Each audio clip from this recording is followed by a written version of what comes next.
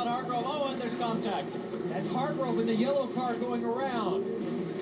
Blackstock runs into the back of him, and that's R.C. Enerson in the Lucas Oil car that's collected.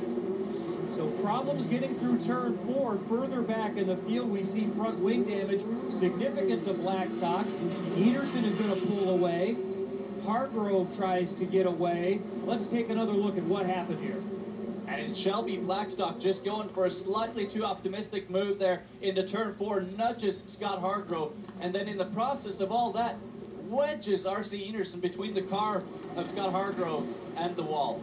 Several others very fortunate to get through. Just ahead of him, meanwhile, there was a battle for fourth with Serralles and Negrao that went side by side. We're on board now with the rookie Santi Urrutia. He is one of those that gets through, and that was Dalton Kellett squeaking through there. Did Urrutia suffer a little bit of damage, though? And Santi actually stalled the engine there and got it refired. So he was lucky not to get hit in that process there. There were a lot of cars flying around, but Shelby Blackstock here has lost his front wing. He's going to have to visit pit lane.